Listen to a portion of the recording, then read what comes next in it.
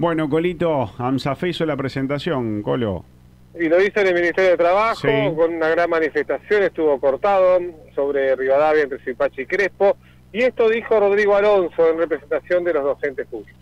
Miles y miles de trabajadoras y de trabajadores de la educación han completado un eh, reclamo individual exigiendo al gobierno de la provincia de que devuelva el día descontado del 8 de mayo. Este estos reclamos individuales también van a ser acompañados, lo vamos a hacer ahora una vez que terminen de que terminemos de bajar todas las cajas con todos los reclamos, haremos un reclamo colectivo también para exigirle al gobierno de la provincia de que los conflictos se resuelven en la mesa paritaria, que los conflictos nunca se van a resolver descontando el día de paro.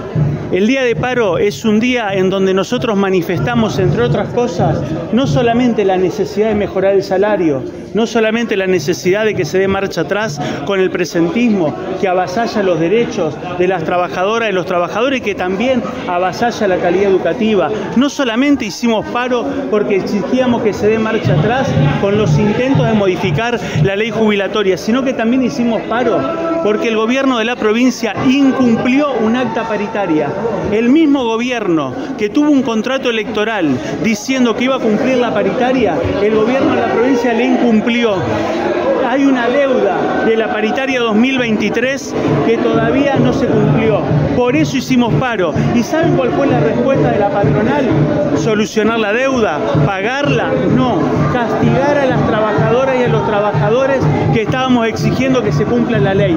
Y ustedes se preguntarán, ¿por qué venimos al Ministerio de Trabajo? Porque el Ministerio de Trabajo es el que tiene que garantizar el cumplimiento de la paritaria y no lo está garantizando. Nosotros hoy traemos acá miles y miles de reclamos y le venimos a decir claramente al gobierno, no nos van a ver arrodillados, estamos de pie, tenemos dignidad y vamos a seguir peleando por nuestros derechos. Rodrigo, el gobernador fue contundente en la semana diciendo que se iba a descontar todo el día no trabajado a partir de hoy. Debería entender que estamos en un sistema democrático donde hay una paritaria y que la paritaria se debe discutir de qué manera se pueden resolver los conflictos.